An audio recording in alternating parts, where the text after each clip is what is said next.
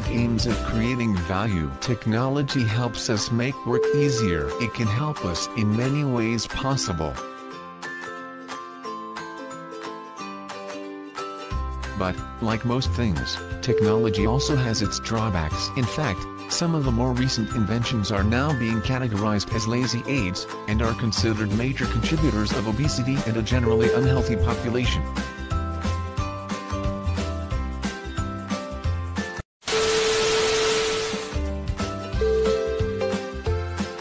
Comfort, technology had made human life comfortable. Everything that we see and use in our daily life is the gift of technology from the clothes we wear, the house we live, the car we travel, the bridge and flyovers, the mobile phone we carry, etc. are all examples of successful implementation of technology.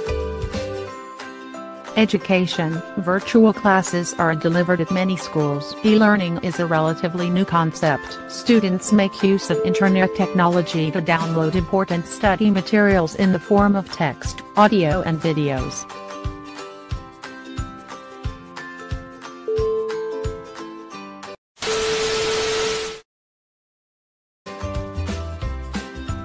Pollution, too much use of technology has resulted in an increase in waste products into the environment. This has caused pollution. The discharge of industrial wastes into the environment diminishes the quality of soil, water, air, etc. Example The vehicle emission is among major causes of air pollution.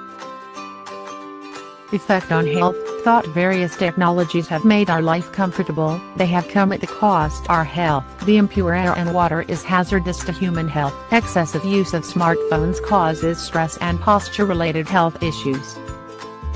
Technology has beyond doubt eased the life of human beings. It has proved to be a great boon in the development process of culture and society. However, too much of anything is bad. Technology should be used with due care and caution only for the purpose that are of benefit for humanity.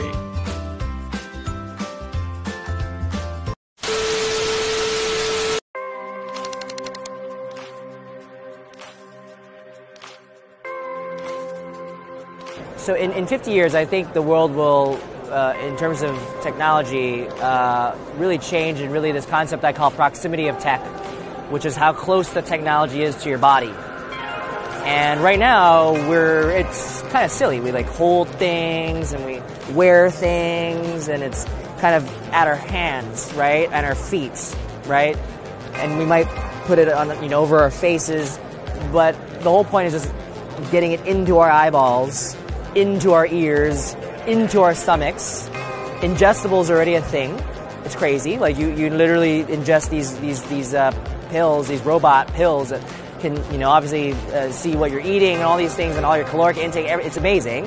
And then you know you've heard of startups like Magic Leap, where they're or, yeah Magic Leap, where they're doing like you know AR for your world, where I should just be able to load my email and do this and like do this right. Like that's literally what will happen. I think in 50 years is everything will just come in.